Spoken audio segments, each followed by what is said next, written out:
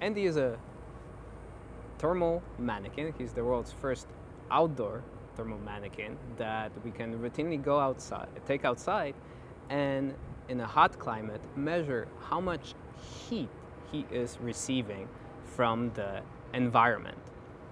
And we can do that on 35 different body parts. Yeah, that one coming off. I was saying to we should get